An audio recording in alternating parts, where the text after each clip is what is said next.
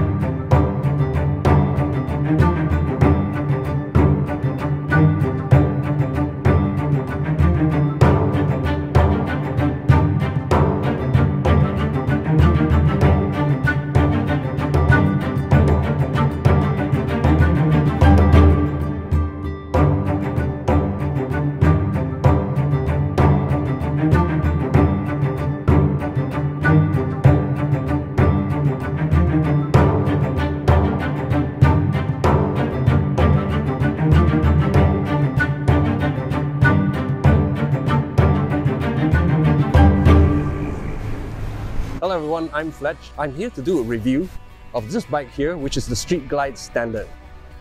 Now the Street Glide was first introduced in 2006 and in 2009 they actually changed uh, the frame of this uh, particular bike. Now in Singapore, uh, we are only would be able to own the Street Glide Special and the Street and of course the Street Glide Standard and they've only just released the uh, 2019 uh, Electra Glide as well. So these are the three models. The reason being is that uh, Singapore has a weight restriction of 400 kgs that any motorcycle will be allowed on the road. So this is just under uh, the 400 kg range. So the Street Glide Standard and the Street Glide Special is allowed on the road. As you can see, this is part of the touring line. Uh, the iconic Batwing cowl, uh, and it comes with the standard halogen uh, headlights it comes with crash bars, and actually the brakes are Brembo brakes. So you have great stopping power when you need it. And because this is a touring bike, or part of the touring range, as this is part of the touring range, you can see that it has the rider floorboards, uh, and of course it comes with hard saddlebags, two up seats, uh, passenger pillion pegs, and this is a 107 cubic inch uh, Milwaukee 8 engine, uh, which translates to about 1,750 cc's. And of course, finally, we have the large six gallon tank, which you see in front of you. Uh, this equates to about 22 liters, which should be able to get you about 400 odd kilometers to a full tank. So right now, what I'm going to do is uh, take it out on the road and give you my uh, impressions of the street glide. I'm now on the bike, uh, and just before we move off, uh, I like to be able to go through some of the controls really quick uh, before we take it out on the road. Um, so the controls on on this bike is pretty similar to the rest, uh, in the sense that uh, you have the horn, the flash, and uh, high beam and low beam. Uh, on the right hand side, you have your hazard lights, your start and stop button, and your on and off switch. Uh, left and right uh, indicators. Uh, and if you can see close to here and over here, you have some joysticks uh, which control the boombox that you see in front of you. and to tell you a little bit more about the boombox, Let's uh, check in with the Blue Bike and Doyle. Hello, everybody from Fletch Dyna's page. Uh, he contacted me and wanted me to show y'all, you, uh, him, or, well, you know, uh, I'm going to say go up here and check out his page, but you already own it. So anyway, he wanted me to show you the GTS radio uh, in the 19 or newer models, the 19s and up it's a newer radio. I had the 16. There's a lot of different changes, a whole lot better radio. So uh, let me turn you around here and I'll show you the toggles. Yes, a lot of people think, well, the screen's way up there. It is a touch screen. I use it sometimes with touch screen, especially when I'm punching in an address and everything. So uh, let me turn you around and I'll show you and let the bike get booted up. Okay, everybody, on the left hand side is the uh, your, your home screen. When you push it, it goes back to the uh, home screen here, which is your radio, navigation, your phones, and then you got your favorites, your headset, if you had one, which I don't, settings and all. So, on the up, turns the volume up, then down turns it down, and then to move through your your tracks to uh, your next song on your iPod or whatever you're using to control it, you go to push it to the right. You advance in it and then go back. You go back. It's pretty simple on this side.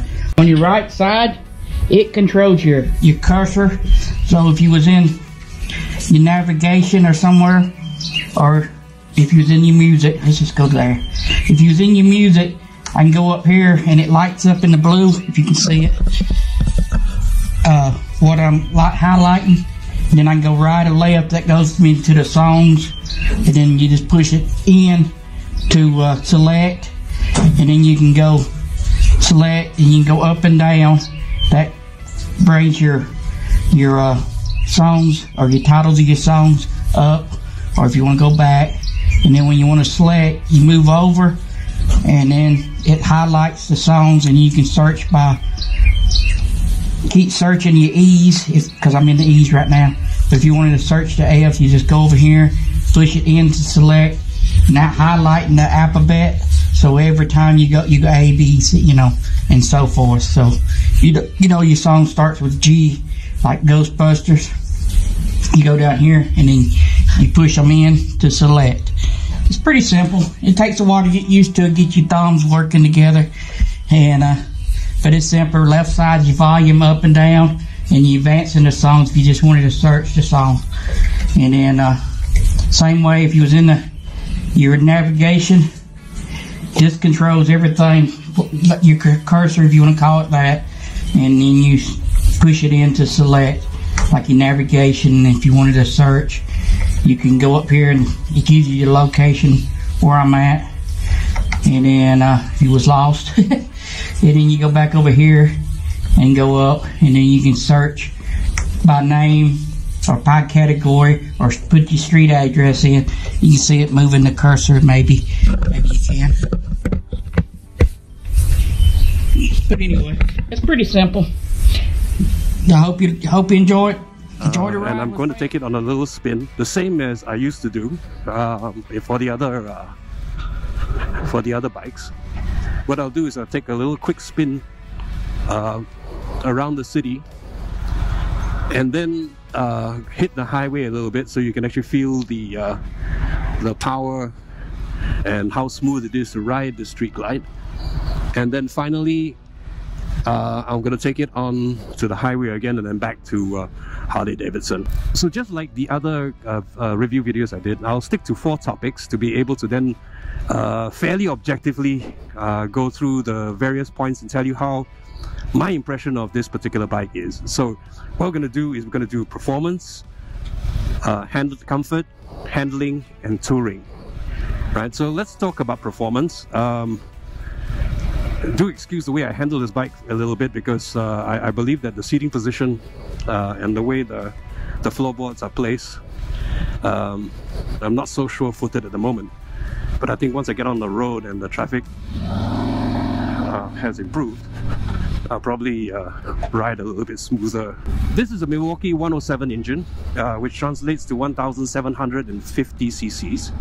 Um, I believe that the weight, uh, fully laden or wet weight as they call it, will be about 350 or 60. But I'll put up the uh, the specs for the weight, power weight ratio, and so forth.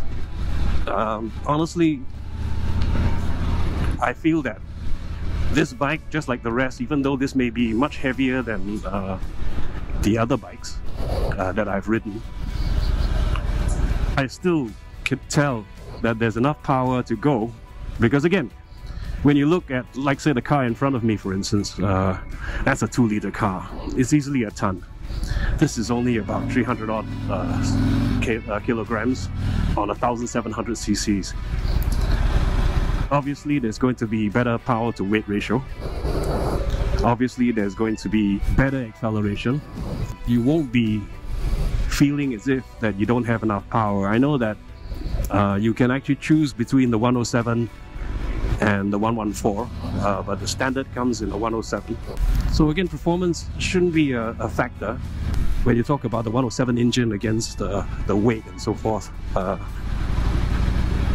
I haven't been able to take it up to the higher gears just yet because of the traffic but uh, surprisingly torquey uh, a little bit different from the Heritage uh, which surprises me again. Uh, maybe they require, maybe again it's about configuration and about the weight considerations. You probably need the horsepower uh, for the lower gears and that's probably why it's torquey. Uh, again, it's a much heavier frame and engine. Hopefully when I take it onto the highway I should be able to then get a good feel on, on how this bike performs, which we're almost there. just that, strangely enough, there's heaps of traffic uh, today but it does perform well uh, it's actually quite nimble surprisingly enough uh, but I'll go into uh, the handling portion in a little bit later on mm. I love these brakes uh, as I did mention earlier um, there's uh, Brembo brakes come stock for all the touring bikes uh, so it actually looks uh, you you actually brake with confidence. So you know when a light turns suddenly because this is a, a traffic uh, camera situation for pedestrians. So you know it could just turn suddenly. Uh, it's not about timing or so forth. So again about performance, uh, in the lower gears. Uh, there's still a lot a good pickup because of the torquiness. Uh, I believe again as I mentioned earlier, this is about um, probably the configuration that they would have uh, as opposed to say a performance bike like the FXDR or Breakout, which is also torquey in the lower gears, but that is because you want to have the, the get up and go. Here, this is to be able to handle uh, fully laden, right? So because imagine if uh, you have a full tank and your luggage is full, then you would have quite a significant uh, weight on it, probably close to 400 already. And you definitely need that kind of uh, low-end power to be able to push off from the bike. And of course once it's on the highway it's just get up and go. So let's talk about topic number two. So in terms of comfort um, what I find uh, interesting is that this is a pretty big bike uh, and, and, as I mentioned earlier or I'm not sure if I did mention it earlier but in, in 2009 Harley actually changed the frame uh, on these bikes so actually made it a little bit longer. It's meant to be able to then accommodate the new engine and also it's meant to probably put away uh, the exhaust heads and so forth so that there'll be less heat emanating from the bike. Uh, because the last thing you need to do is a really hot bike while you're riding. Uh, although we know that uh, Harley Davidson is pretty notorious for uh, hot rides, so to speak. As I mentioned, what I found really interesting was that, again, I'm 5 feet 11, maybe 6 feet in these riding boots. Um, you know, and, and, my posture is pretty good. I'm not, I'm, I'm not too far back. Uh, I'm not, my arms are not too stretched. My arms are not too stretched out like this. Uh, but when I raise my feet to the floorboards, I realize that actually my knees are just about above the tank, which, you know, as you can see here, which is strange, right? So that would mean that uh, I'm a little too tall for this bike, which I find pretty strange. Right? So if you're 5 feet 11, 6 feet, and you're sitting on a bike like this, and you know, if you're up this high, would, would mean that, uh, you know, I'm not sure how long you could be comfortable in this particular position. Uh, I can't. I'm already far back as I can on the seat. The seats are really comfortable. They're really plush. These are the stock seats. Uh, but again, uh, I find it strange that I'm so high up. So anyway, as I was saying, as you can see, it's uh, my knees are above the knee, uh, above the tank, and uh, I find that um, it may be a little uncomfortable, right? So if you're 5'11", 6 feet, say, and above, I probably suggest that you get uh, highway pegs on your uh, on your crash bars and uh, or get a seat that puts you uh, a little bit behind or further back. So then you get a little bit of more of a stretch and then your rider triangle is a little bit more better so to speak. Because again I, I uh, this is a short test ride so you know ultimately I won't be able to tell you uh, whether it's really going to be uncomfortable or not. So far I'm good because like I said the rider triangle in terms of comfort uh, I have my feet planted firmly on the floorboards it feels like my feet are planted on the ground. You know it's like riding on a couch. But otherwise pretty smooth handling nice turns. But still on comfort so let's not talk about handling just yet yeah uh, so I would probably suggest that either highway bars or, or, get another seat that pushes you back a little bit if you're a much taller person. Uh, not highway bars but highway pegs. So that at least you you you'll probably be then able to do uh, uh a much longer ride without any discomfort. Uh, and I believe that probably uh, if you're shorter than you're 5'10 and below then this shouldn't be an issue. But otherwise very comfortable bike. Uh, I'm actually sitting in a very comfortable position. Uh, but and and and still on the subject of comfort now. To be honest most of the bikes I've ridden are uh, the sub 300 range uh, in terms of uh, weight. And I was a little intimidated by uh, this bike uh, when I saw the weight on on this thing. But honestly uh, it is all it feels slightly heavier only. Again we know that Harley Davidson bikes are very well balanced. Even at a stop like this I don't feel like I, I'm gonna have to fight it so again, in terms of comfort, uh, I'm, I'm very happy with the way it was uh, configured. It does elicit a lot of confidence now. I feel so confident uh, riding this bike. Uh, when initially I had my uh, little bits of apprehension. Now let's see. Big bike as it is, can I or can I not lane split? No, I cannot because they do not keep to their lanes. it's okay, you know, if I had a Sportster or the other bikes, uh, I'm not sure if the Heritage can make it through, but uh, definitely not this bike. Yeah. So we've covered performance and comfort. So let's go on to the next category, which is handling, right? So again, even though this bike is uh, sub 400 kgs or close to 400 kgs fully laden. I think it handles really well. Surprisingly nimble. I, think earlier you could see me overtaking uh, some of the cars. And it was so easy to flick, right? See how nimble this is. Look at that.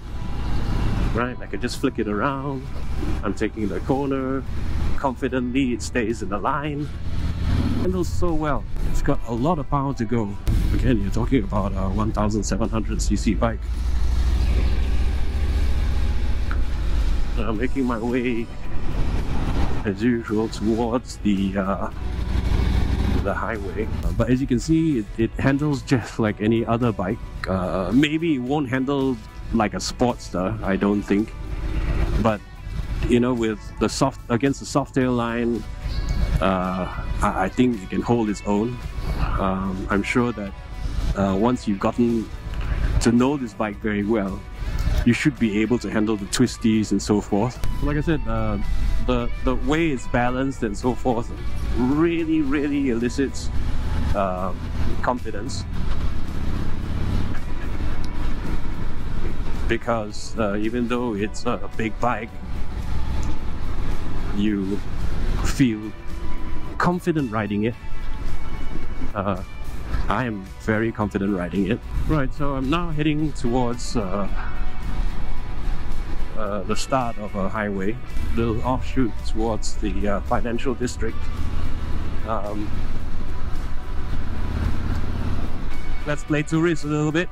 Right, so for Road Rash HD, coming up on the left, you can see this is the Singapore Flyer. Uh, they actually have something similar in uh, England, in London actually.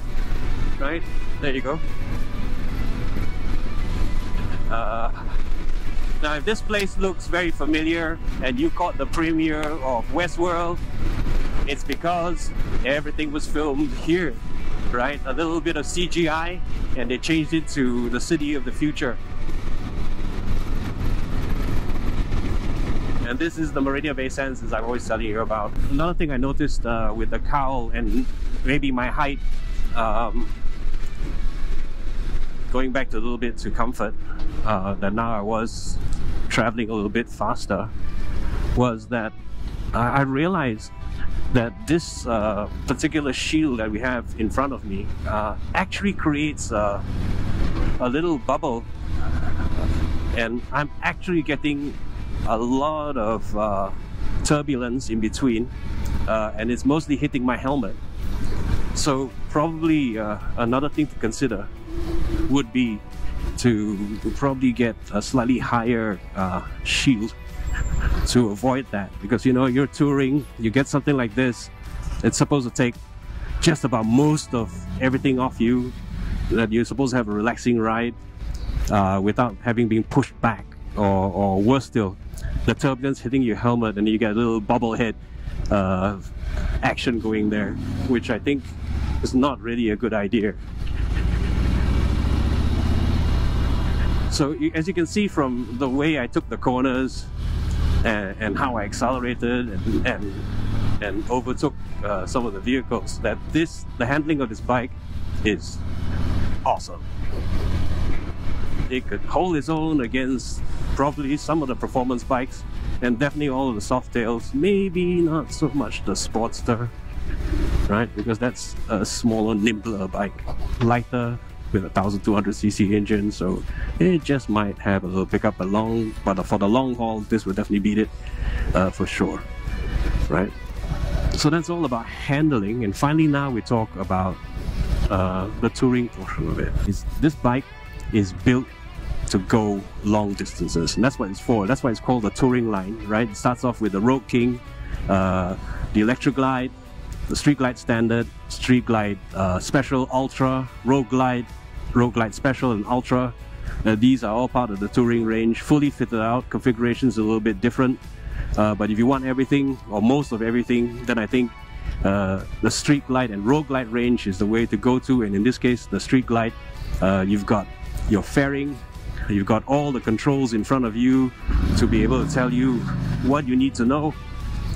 It comes with a navigation system, radio, and so forth if you need that. If you don't need that, maybe you can consider the Electra Glide, which is a street glide without all of the electronics. I'm not too sure, but I think it might have uh, cruise control. No, I can't see it. I would have to check uh, and then put it up if they have cruise control, but you know, I think it could be an option. Uh, it comes with ABS, so your stopping is uh, pretty good. It comes with a security option, of course.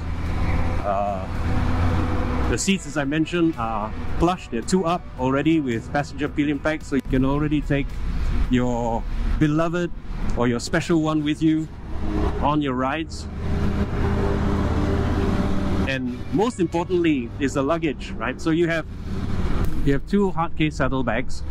Uh, total capacity is rated at 2.5 cubic feet, which translates to about a total of 70 liters. So that's 35 liters per side. That's a lot. trust me, even if you feel that that's not good enough, you can always put a, a top box on the back and you become an ultra and you can tour for long distances. You put as much as you want uh, on this. But you know honestly 70 uh, 70 liters is a lot uh, to put on. Uh, even when I travel uh, I think at the most I'll use about 40 liters or more slightly more. So this is heaps heaps more that you can put on. Nice love the way it takes the corners. So it's all kitted out uh, for a full comfortable ride to go on a long touring I can still I definitely can feel the the wind from the that's hitting my, my helmet. So I would probably suggest getting a Klock Werks or uh, a much higher windshield so that then you won't get the bubble effect uh, on this. Anyway that's uh, just about it for my review for today. Uh, I do hope that you enjoyed uh, watching and I hope that was informational for you. Uh, please uh, do leave your comments below and for those of you who own a Street Glide, uh, give us your comments on how it handles and how you feel about the Street Glide. and of course, if you're new to this channel, thank you for coming. And if you haven't yet, please click the subscribe button and don't forget to hit the notification bell to let you know about the next video that I'm putting up. Once again, thank you very much everyone and you all have a safe trip.